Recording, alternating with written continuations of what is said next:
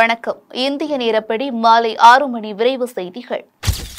மல்யுத்த வீரர்களான பஜ்ரங் புனியா மற்றும் வினேஷ் போகத் இருவரும் காங்கிரஸ் கட்சியில் இணைந்தனர். அண்மையில் இருவரும் காங்கிரஸ் கட்சியின் தலைவர் ராகுல் காந்தியை சந்தித்து பேசியிருந்த நிலையில் இன்று இருவரும் காங்கிரஸ் கட்சியில் இணைத்துள்ளனர் மேலும் ஹரியானா சட்டமன்ற தேர்தலில் காங்கிரஸ் கட்சியின் சார்பில் வினேஷ் போகத் போட்டியிட உள்ளதாகவும் தகவல்கள் வெளியாகியுள்ளது. மதுரை மாவட்டத்தில் உள்ள பிரசித்தி பெற்ற மீனாட்சி சுந்தரேஸ்வரர் ஆலயத்தில் புதுச்சேரியின் முன்னாள் முதல்வர் நாராயணசாமி சுவாமி தரிசனம் செய்தார். தொடர்ந்து செய்தியாளர்களை சந்தித்த அவர் வெள்ள நிவாரணம் வறட்சி நிவாரணம் உள்ளிட்ட பல்வேறு நிதியை தமிழ்நாட்டிற்கு கொடுக்காமல் மத்திய அரசு வஞ்சிக்கிறது என கூறிய அவர் புதிய கட்சி துவங்கிய நடிகர் விஜய்க்கு வாழ்த்துக்கள் எனவும் தெரிவித்தார். அது மட்டுமல்ல மத்தியிலே அதானிக்கும் அம்பானிக்கும் மோடி பணத்தை வாரி வழங்குகிறார். குறிப்பாக அதானி நிறுவனம் செபி செபியினுடைய தலைவர் அவர்கள் அதிலே முதலீடு செய்திருக்கா என்ற கேள்வியை நாங்கள் வைத்தோம். அதற்கு பதில் சொல்லவில்லை. அது மட்டுமல்ல இப்பொழுது அதானி வாங்கிய பத்து நிறுவனங்களில் ஒரு லட்சத்தி இருபது கோ- இருபதனாயிரம் கோடி ரூபாய் கடன் இருக்கிறது. அதை இருபத்தெட்டாயிரம் கோடிக்கு மோடி வாங்கிவிட்டு அதானி வாங்கிவிட்டு அந்த மீதி கடன்களை எல்லாம் ஒரு லட்சத்தி இருபதாயிரம் கோடி கடனை எல்லாம் வங்கிகள் ரத்து செய்திருக்கின்றன. இந்த வங்கிகள் அதானிக்காகவே மத்திய வங்கிகளை அது பாரத வங்கியாக இருந்தாலும் சரி இந்தியன் வங்கியாக இருந்தாலும் சரி அந்த வங்கிகளை திறந்து விட்டு அதானிக்கு பணத்தை வாரி வழங்குகிறார். அவருடைய கடனை எல்லாம் தள்ளுபடி செய்கிறார். இது சம்பந்தமாக பாராளுமன்ற விசாரணை வேண்டும் என்றால் மோடி அதற்கு தயாராக இல்லை. ஏனென்று சொன்னால் மோடியினுடைய பினாமியாக இருக்கிறவர் அதானி. ராணிப்பேட்டை மாவட்டம் ஆற்காடு பேருந்து நிலையத்தில் புதிய ஆறு புறநகர் பேருந்துகளை சட்டமன்ற உறுப்பினரும் தமிழக கைத்தறி மற்றும் துணிநூல்துறை அமைச்சருமான காந்தி சிறப்பு அழைப்பாளராக கலந்து கொண்டு கொடியசைத்து தொடங்கி வைத்தார். பின்னர் பேருந்தில் பயணம் செய்தார். இதில் மாவட்ட ஆட்சியர் சந்திரகலா சட்டமன்ற உறுப்பினர் ஈஸ்வரப்பன் உள்ளிட்டோர் கலந்து கொண்டனர்.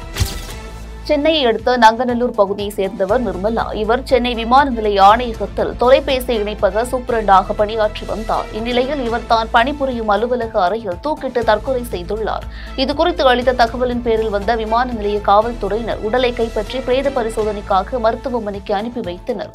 மேலும் காவல்துறையினர் வழக்கு பதிவு செய்து விசாரணை மேற்கொண்டு வருகின்றனர். தூத்துக்குடி மாவட்டம் திருச்செந்தூர் சுப்பிரமணி சுவாமி கோயிலில் அறங்காவலர் குழு தலைவராக அருள்முருகன் செயல்பட்டு வந்தார். இந்நிலையில் அவருடைய பதவிக்காலம் நிறைவு பெற்ற நிலையில் அவர் மீண்டும் தக்காராக நியமனம் செய்யப்பட்டுள்ளார். இதையடுத்து அவர் கோவில் இணை ஆணையர் ஞானசேகரன் முன்னிலையில் தக்காராக பொறுப்பேற்றார். சென்னை புதுவண்ணாறுபேட்டை எண்ணூர் நெடுஞ்சாலையில் ராஜேஷ் என்பவர் தனது தாயாரோடு இருசக்கர வாகனத்தில் சென்றபோது பின்னால் வந்த இளைஞர் ஒருவர் அதிவேகமாக இருசக்கர வாகனத்தில் மோதியதில் இளைஞர்கள் இருவரும் படுகாயமடைந்தனர். இதையடுத்து போக்குவரத்து காவல்துறையினர் படுகாயமடைந்த இளைஞர்களை மீட்டு அரசு மருத்துவமனைக்கு சிகிச்சைக்காக அனுப்பி வைத்து விசாரணை மேற்கொண்டு வருகின்றனர்.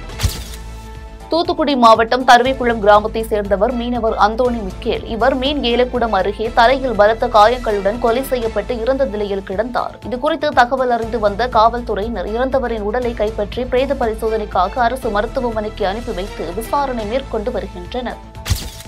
மதுரை மாவட்டம் சோழவந்தான் அருகே உள்ள தனியார் பள்ளியில் கிரிக்கெட் மைதானத்தில் சிறுவர்கள் மற்றும் சிறுமிகளுக்கு கிரிக்கெட் பயிற்சி வழங்குவதற்கான அகாடமியை சென்னை சூப்பர் கிங்ஸ் கிரிக்கெட் வீரர் பத்ரிநாத் திறந்து வைத்தார். இதில் மாவட்ட கிரிக்கெட் சங்கத்தின் செயலாளர் Ramakrishnan Chennai Super Kings Academy cricket இயக்குநர் லூயிஸ் மரியானோ உள்ளிட்டோர் தலைமையேற்று நடத்தினர். பின்னர் செய்தியாளர்களை சந்தித்து பேசிய கிரிக்கெட் வீரர் பத்ரிநாத். சிஎஸ்கே அகாடமி தொடங்கி வைக்கிறதுல எனக்கு மிகவுமே ஒரு ரொம்ப சந்தோஷம். நல்ல விஷயம். பன்னெண்டாவது சிஎஸ்கே அகாடமி தமிழ்நாடுல. ஐ திங்க் தமிழ்நாட்டில் இருக்கிற ஒரு ஒரு ஊர்லேயும் மூணு முடுக்கில் இருக்கிற ஒளிஞ்சிருக்கிற ஒரு டேலண்ட்ஸு திறமைகளை ஆனால் ஒரு நெக்ஸ்ட் லெவலுக்கு எடுத்துகிட்டு போகிறதுக்கான ஒரு வாய்ப்பு நல்ல இன்ஃப்ராஸ்ட்ரக்சர் நல்ல ஃபெசிலிட்டிஸ் நல்ல கோச்சஸ் எல்லாமே அமைச்சு தராங்க. Chennai Super Kings Chennai Super Kings மாதிரி ஒரு பிராண்டோட இன்வால்வ்டாக இருக்கிறது இந்த கிட்ஸுக்கெலாம் ஒரு பெரிய பெரிய ஒரு ஆப்பர்ச்சுனிட்டி அப்படின்னு நான் நினைக்கிறேன். கூடி விரைவிலேயே இந்த மாதிரி ஃபெசிலிட்டிஸ் வர்றதுனால மதுரையிலேருந்து ஒரு ஒரு நல்ல கிரிக்கெட்டர் மிகவும் வளர்ந்து அடுத்தது சிஎஸ்கேக்கே விளாடி ஐபிஎல் விளாடி அடுத்த லெவல் இந்தியாவுக்கும் விளாடினா அதுதான் ஒரு உண்மையான வெற்றி. அந்த நாள் இன்னும் வெகு தூரத்தில் இல்லை அப்படின்னு தான் நான் நினைக்கிறேன். காஞ்சிபுரம் மாவட்டம் வாலாஜாபாத் ஊராட்சி ஒன்றியம் வையாவூர் ஊராட்சியில் கலைஞரின் கனவு இல்ல திட்டத்தின் கீழ் ரூபாய் நூற்று அறுபத்தி ஒரு லட்சம் மதிப்பீட்டில் கட்டப்பட்டு வரும் குடியிருப்புகளை மாவட்ட ஆட்சித்தலைவர் பார்வையிட்டு ஆய்வு மேற்கொண்டார்.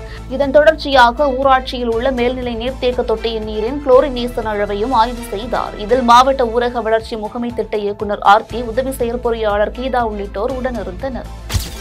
நீலகிரி மாவட்டம் உதகை சேரிங் கிராஸ் முதல் கேசினோ ஜங்ஷன் வரையிலான சாலையில் பொதுமக்கள் மற்றும் சுற்றுலா பயணிகள் நடப்பதற்காக வண்ணம் தீட்டப்பட்ட அழகிய நடைபாதை அமைக்கும் பணி நடைபெற்று வருகிறது. இதனை மாவட்ட காவல்துறை கண்காணிப்பாளர் நிஷா ஆய்வு செய்தார். பின்னர் செய்தியாளர்களிடம் பேசிய அவர் மாவட்டத்தில் பல்வேறு சுற்றுலா தலங்கள் உள்ளதால் சாலையில் சுமார் நானூறு மீட்டர் தூரத்திற்கு வர்ணம் பூசி அலங்காரம் செய்யப்பட்டு பொதுமக்கள் நடந்து செல்லும் வகையில் நடைபாதை பணி கொண்டுவரப்பட்டுள்ளது என்று தெரிவித்தார். கோவை விமான நிலையம் அருகே உள்ள தனியார் விடுதியில் ஆசிரியர் தினத்தை ஒட்டி தன்னார்வ தொண்டு நிறுவனம் சார்பில் ஆசிரியர்களுக்கு விருதுகள் வழங்கும் விழா நடைபெற்றது. இதில் விமான நிலைய இயக்குநர் செந்தில் வள்ளவன் சிறப்பு விருந்தினராக பங்கேற்று ஆசிரியர்களுக்கு விருதுகளை வழங்கி கௌரவித்தார். இதில் தனியார் உணவகத்தின் நிறுவனர் சசி ஆசிரியர்கள் உள்ளிட்டோர் கலந்து கொண்டனர்.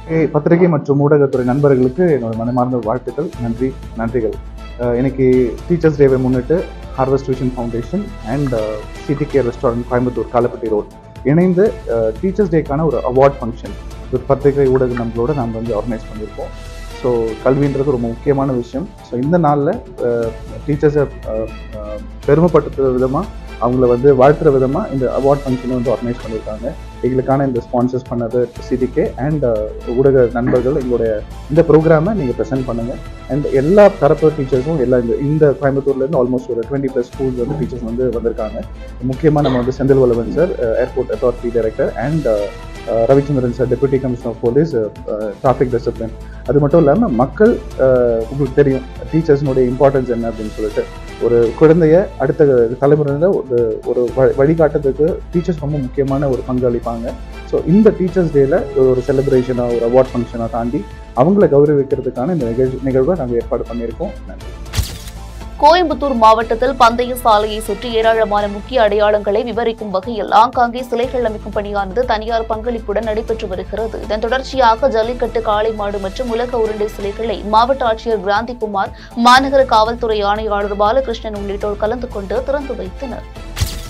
திருவள்ளூர் மாவட்டம் பூந்தமல்லி நகராட்சி பகுதியில் சேகரிக்கப்படும் திடக்கழிவுகளில் இருந்து பிரித்தெடுக்கப்பட்ட ஈரக்கழிவுகளினை அரைத்து தயாரிக்கப்பட்ட உரத்தை பொதுமக்களுக்கு இலவசமாக வழங்கும் நிகழ்ச்சி நடைபெற்றது. இதில் நகர்மன்ற தலைவர் காஞ்சனா சுதாகர் மற்றும் நகராட்சி ஆணையர் லதா கலந்து கொண்டு பொதுமக்களுக்கு இயற்கை உரத்தை வழங்கினார். இதில் நகர்மன்ற உறுப்பினர் ராஜ்குமார் துப்புரவு அலுவலர் உள்ளிட்டோர் கலந்து கொண்டனர்.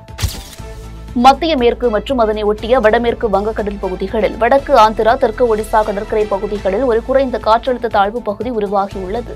இது வடக்கு வடமேற்கு திசையில் நகரக்கூடும். இதனால் அடுத்த மூன்று மணி நேரத்தில் ஏழு மாவட்டங்களில் மழைக்கு வாய்ப்பு உள்ளதாக சென்னை வானிலை ஆய்வு மையம் தெரிவித்துள்ளது. சென்னை எண்ணூர் வஉசி நகர் பகுதியைச் சேர்ந்தவர் மீனவர் அறிவழகன் இவர் தனது வீட்டின் பின்பகுதியில் உள்ள குளத்தில் மீன்பிடிக்க பயன்படுத்தும் வலையில் பெண் மயில் சிக்கி காயமடைந்ததைக் கண்டு மயிலை மீட்டு வீட்டுக்கு கொண்டு சென்று முதலுதவி செய்துள்ளார். பின்னர் இதுகுறித்து அவர் அளித்த தகவலின் பேரில் வந்த போலீசார் மற்றும் வனத்துறையினர் மயிலை பெற்றுக்கொண்டு வன அலுவலகத்திற்கு கொண்டு சென்றனர்.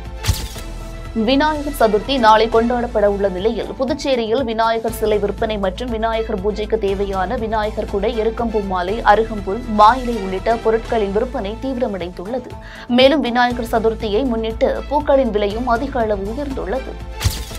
கேரளாவில் ஓணம் பண்டிகையை ஒட்டி ஒவ்வொரு வீடுகளின் முன்பும் பல வண்ண பூக்களால் அத்தப்பூக்களம் செய்து வருகின்றனர். இந்நிலையில் அத்தம் நட்சத்திரத்தின் முதல் நாளில் அத்தப்பூ போடத் தொடங்கி பத்தாம் நாளான திருவோணத்தன்று பத்து வகையிலான பூக்களால் அத்தப்பூக்களம் செய்து கடவுளை வரவேற்பதாக திருவோண திருநாளாகவும் கேரளா மக்கள் கொண்டாடி வருகின்றனர். வேலூர் மாவட்டம் குடியாத்தம் அசோக் நகரில் உள்ள மாரியம்மன் கோயிலில் கும்பாபிஷேக விழாவை ஒட்டி பட்டு வஸ்திரங்கள் மூலிகைப் பொருட்கள் உள்ளிட்டவை கொண்டு சிறப்பு யாகம் நடைபெற்றது. தொடர்ந்து வேத மந்திரங்கள் முழங்க கோபுர கலசங்களுக்கு புனித நீர் ஊற்றப்பட்டு மகா கும்பாபிஷேகம் நடைபெற்றது. நகர்மன்ற உறுப்பினர் மனோஜ் தலைமையில் தலைவர் சவுந்தரராஜனுக்கு பூரண மரியாதை செலுத்தப்பட்டது. இதில் ஏராளமான பக்தர்கள் கலந்து கொண்டு மாரியம்மனை வழிபட்டனர். திருவண்ணாமலை மாவட்டம் கொத்தந்தவாடி கிராமத்தில் உள்ள அம்மச்சார் அம்மன் கோவிலில் அதிர்ஷ்டபந்தன மகா கும்பாபிஷேகம் விழாவை ஒட்டி கணபதி ஹோமம் உள்ளிட்ட யாகம் நடைபெற்றது. இதனைத் தொடர்ந்து கோவில் கோபுர உச்சியில் கலச புனித நீர் ஊற்றப்பட்டு கும்பாபிஷேகம் நடைபெற்றது. இதில் ஏராளமான பக்தர்கள் கலந்து கொண்டு சுவாமி தரிசனம் செய்தனர். ராமநாதபுரம் மாவட்டம் கூடனூர் கிராமத்தில் உள்ள ஆதினமிழகி ஐயனார் மற்றும் பரிவார தெய்வங்கள் கோவிலில் கும்பாபிஷேக விழாவை ஒட்டி கணபதி ஹோமம் வாஸ்து சாந்தி உள்ளிட்ட பூஜைகள் நடைபெற்றது. பின்னர் வேத மந்திரங்கள் முழங்க கோவில் கோபுரத்தின் மீது புனித நீரை சிவாச்சாரியர்கள் ஊற்றி கும்பாபிஷேகம் நடைபெற்றது. இதில் ஏராளமான பக்தர்கள் கலந்து கொண்டு சுவாமி தரிசனம் செய்தனர். கன்னியாகுமரி மாவட்டம் நாகர்கோவிலில் உள்ள பெருமாள் கோவிலில் ஆவணி திருவிழா முதல் நாள் கொடியேற்றத்துடன் தொடங்கியது. முன்னதாக கோவில் மூலவருக்கு சிறப்பு அபிஷேகம் நடைபெற்றது. தொடர்ந்து கோவில் பூசாரிகள் வேத மந்திரங்கள் விளங்க கொடிமரத்திற்கு சிறப்பு பூஜைகள் செய்யப்பட்டு திருக்கொடியேற்றினர் ராணிப்பேட்டை மாவட்டம் வாலாஜப்பேட்டை கச்சால நாயக்கர் வீதியில் புதிதாக கட்டப்பட்டுள்ள வேத விநாயகர் மற்றும் வீரவேத ஆஞ்சநேயர் கோவிலில் அஷ்டபந்தன கும்பாபிஷேக விழாவை ஒட்டி கணபதி ஹோமம் லட்சுமி ஹோமம் உள்ளிட்டவை நடைபெற்றது. பின்னர் கலச நீரை கொண்டு விநாயகர் கோவிலுக்கும் வீரவேத ஆஞ்சநேயர் உள்ளிட்ட மூன்று ஸ்தலங்களுக்கு கும்பாபிஷேகம் நடைபெற்றது. இதில் ஏராளமான பக்தர்கள் கலந்து கொண்டு சுவாமி தரிசனம் செய்தனர். காஞ்சிபுரம் மாவட்டம் காரை கிராமத்தில் உள்ள ஸ்ரீ செல்வ விநாயகர் ஆலயத்தில் மகா கும்பாபிஷேக விழாவை ஒட்டி கணபதி ஹோமம் முதற்கால யாக பூஜைகள் நடத்தப்பட்டு வாஸ்து சாந்தி இரண்டாம் கால யாகசாலை பூஜைகள் நடைபெற்றது. ஊராட்சி மன்ற தலைவர் வள்ளி செல்வம் தலைமையில் நடைபெற்ற இவ்விழாவில் துணைத் தலைவர் கவிதா வார்டு உறுப்பினர்கள் மற்றும் பக்தர்கள் என ஏராளமானோர் கலந்து கொண்டு சுவாமி தரிசனம் செய்தனர். இத்துடன் ஜம் செய்திகள் நிறைவடைகின்றன. மீண்டும் செய்திகள் இன்று இரவு எட்டு முப்பது மணிக்கு. செய்திகளை உடனுக்குடன் தெரிந்து கொள்ள ஜம்லைவ் டாட் டிவி என்ற இணையதளத்தில் இணைந்திருங்கள். நன்றி வணக்கம்.